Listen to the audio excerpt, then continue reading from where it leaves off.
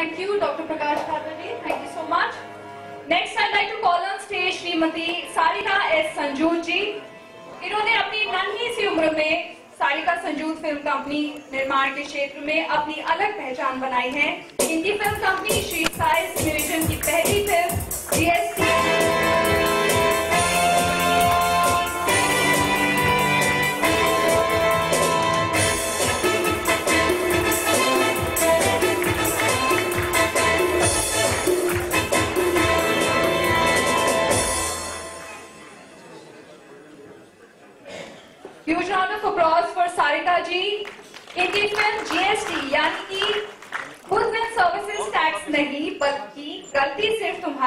जो हाल ही में प्रदर्शित हुई है और बॉक्स ऑफ़िस में सफलता के झंडे गाड़ चुकी है।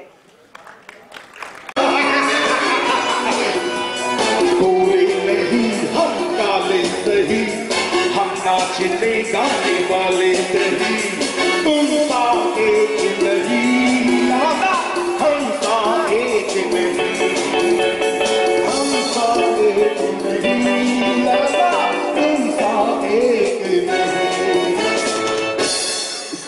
क्लबिंग आपने जो प्रेम साहब के लिए की इसके लिए। मैं आपसे मैं सक्सेस पार्टी में सबको बुलाऊँगा।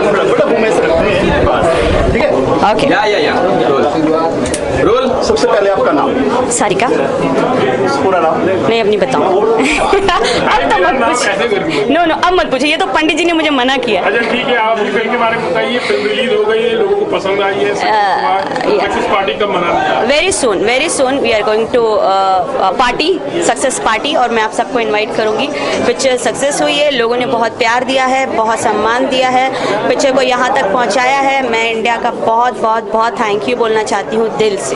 और uh, ऐसे ही प्यार देते रहें ताकि हम आगे और अच्छा अच्छा काम करें। लोग जीएसटी से डर रहे थे लेकिन आपने तो जीएसटी को लाकर लोगों के बीच में रख दिया। Actually my movie name is गलती सिर्फ़ तुम्हारी इसका शॉर्ट फॉर्म बनता है जीएसटी इतना कुछ जीएसटी जीएसटी हो गया था। एंड कोइंसिडेंस ये एक लाइट जीएसटी है। To change your moon to change your thoughts तो पीपल आर लाइकिंग दिस और मैं सबका फिर से थैंक यू बोलूँगी। आगे क्या प्लान है? अभी एक्चुअली सक्सेस हुई तो कॉन्फिडेंस बढ़ जाता है डेफिनेटली तो आगे क्या प्लान है फ़िल्म को लेकर? तो सोची होगी ऑफ़ कोर्स सोची है। हमारे पास ऑलरेडी दो कॉन्सेप्ट हैं जिसके ऊपर हम काम कर रहे हैं। And very soon we are going to declare that with you all people I am going to share with that और जल्दी उसके बारे में डिस्कस करेंगे। किस तरह की फ़िल्म होगी? क्या स्टोरी है एक्चुअली थोड़ा बहुत बताना चाहोगे? हाँ मेरे पास एक म्यूजिकल रोमांटिक मूवी है। और एक और बहुत अच्छा कॉन्सेप्ट है which I am not going to disclose right now तो first we are going to attack that और फिर हम म्यूजिकल लव स्टोरी पे जाएँगे। लास्ट क्वेश्चन अवार्ड मिलना कैसा? फिर भी महान हस्तियों के हाथ में। अवार्ड मिलना it's like you know this is I can say this is like ashirwad. This is like ashirwad. मैं इसको अवार्ड्स में नहीं काउंट करूँगी। दिस इज़ लाइक आशीर्वाद। और इतने बड़े बड़े artist they are legend you know इन लोगों से मिला मुझे तो I am so happy I am so glad और प्रेम जी के बारे में और क्या कहना चाहेंगे? प्रेम जी प्रेम अभी आपने जी। सोचा था कि जिसकी मूवी में देखती आ रही हूँ एक दिन मुझे अपने हाथों से अवार्ड देंगे। ओ नहीं नहीं नहीं मैंने बिल्कुल भी नहीं सोचा था कि प्रेम जी के हाथों से मुझे कभी ऐसे सम्मानित किया जाएगा या प्यार दिया जाएगा उनका। बट हाँ ये है कि I am happy with this और Prem ji he is a great actor बहुत बड़े आर्टिस्ट हैं। मैं फिर बोल रही हूँ कि आई एम वेरी स्मॉल उनके बारे में कुछ डिस्कश डिस्कस करूँ या उनके इज़ अ ग्रेट एक्टर उन्होंने हमेशा बहुत अच्छा काम किया है।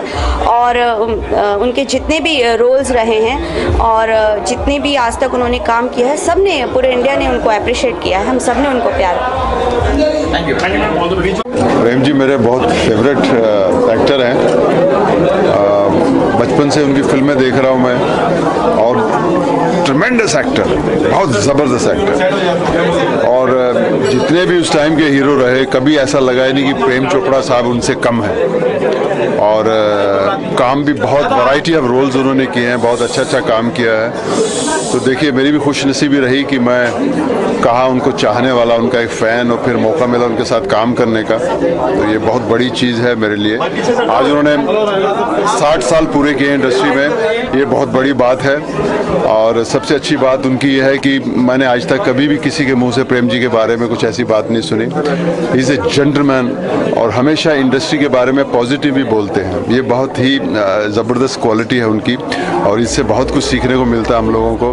तो मैं इस मौके पे उनको मुबारकबाद देना चाहूँगा साठ साल पूरे हुए उनकी सेहत के लिए दुआ करूँगा कि तंदुरुस्त रहें और इसी तरह काम करते रहें क्योंकि इन लोगों के काम जो हैं हमारे लिए एक प्रेरणा का स्रोत बन जाते हैं। हम कुछ ना कुछ इनके डिसिप्लिन से इनके काम से इनकी मेहनत से हमें सीखने को मिलता है। तो प्रेम जी आप हमेशा काम करते रहिए तंदुरुस्त रहिए। God bless you all the very best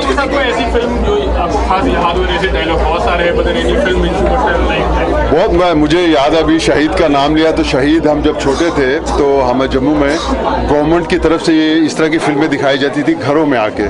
तो हमारे ज़रा लॉन वॉन थोड़ा बड़ा था तो हमारे घर पे वो फ़िल्म दिखाई गई थी तो उस वक्त मैंने ये फ़िल्म देखी। और फिर मुझे बॉबी याद है या सो मैनी फ़िल्म शायद ही कोई फ़िल्म मैंने उनकी मिस की हो। आ, लेकिन कमाल काम है उनका जो वैरायटी ऑफ़ रोल आज एज एन एक्टर में अगर कहूँ तो हम उनके सामने कुछ भी नहीं है। उन्होंने इतनी वैरायटी ऑफ़ रोल्स किया है और इतना ज़बरदस्त काम किया है। वो हमेशा उनका नाम रहेगा हमेशा इंडस्ट्री उनको याद करेगी।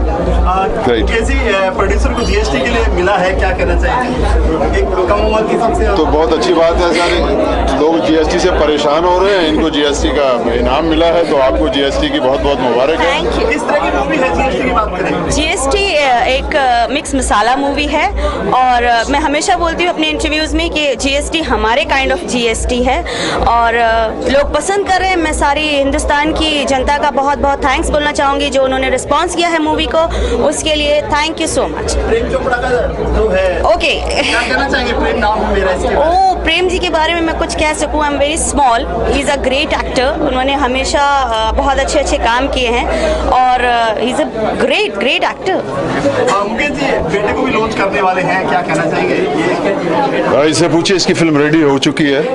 उसका फ़िल्म यही बताएगा। राघव राघव बता देंगे पहली बात तो कॉन्ग्रेचुलेशन टू प्रेम सर क्योंकि जो उनने अचीव किया है वो शायद ही कोई एक्टर कभी अचीव कर पाया। और बहुत ही कम ऐसे एक्टर हैं जिन्होंने अचीव किया है। प्लस एक चीज़ जो मैंने उनसे सीखी है वो है उनकी अदायगी उनके उनके मूवमेंट्स उनके किस तरीके से वो बात करते थे क्या डायलॉग डिलीवरी थी ये आज शायद ही देखने मिलता है। मेरी मूवी का नाम है T G I the great Indian escape खुला आसमान की ओर। 1971 इंडिया पाकिस्तान वॉर में uh, कुछ पायलट्स क्रैश लैंड हो गए थे पाकिस्तान में वहाँ से उनने कैसे स्ट्रैटेजी बनाई और वहाँ से कैसे वो एस्केप करते हैं ये है फ़िल्म की स्टोरी बहुत ही जल्द सिनेमा घरों में आएगी। पाकिस्तानी किरदार पापा ने पापा ने निभाया है एक अलग ही हटके किरदार है पाकिस्तानी टेररिस्ट का। हाँ जी। आप कितना मतलब क्या क्या टिप्स दी पापा ने आपको ये करना चाहिए जी ये पायलट के बारे में है ये पाकिस्तानी टेररिस्ट के बारे में नहीं है।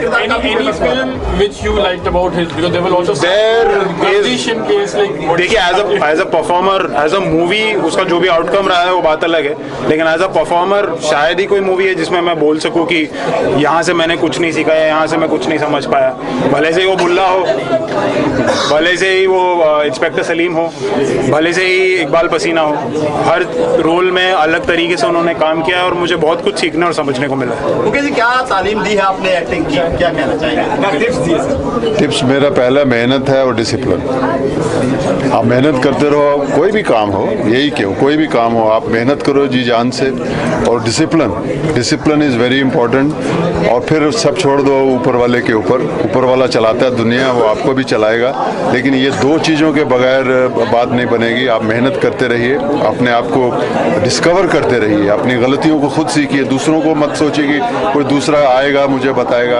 आपके पास अपनी इतनी पावर होनी चाहिए कि आप खुद महसूस करेंगे, ये मेरा गलत है, इसको मैं बेटर करूँगा। तो यही दो चीज़ें हैं। सबसे बड़ी मेरे लिए तो डिसिप्लिन है और मेहनत। इसका कोई कोई दूसरा रास्ता नहीं है। All the best Prem ji, एक बार फिर से बहुत मुबारक। हाँ जी।